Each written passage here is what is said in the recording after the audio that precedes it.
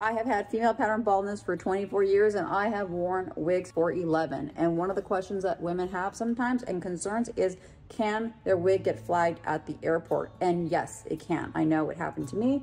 Other people have told me it's happened to them. And I did a poll once where several people indicated it happened to them as well.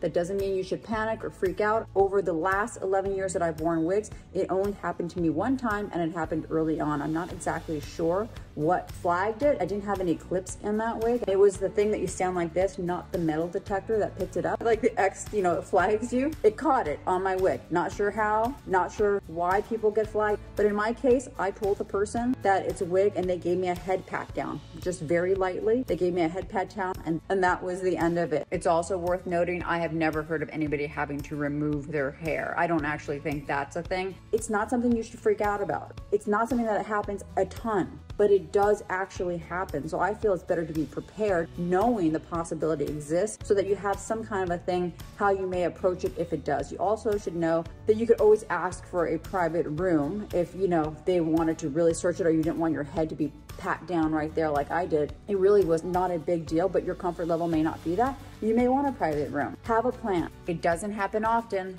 but it does happen.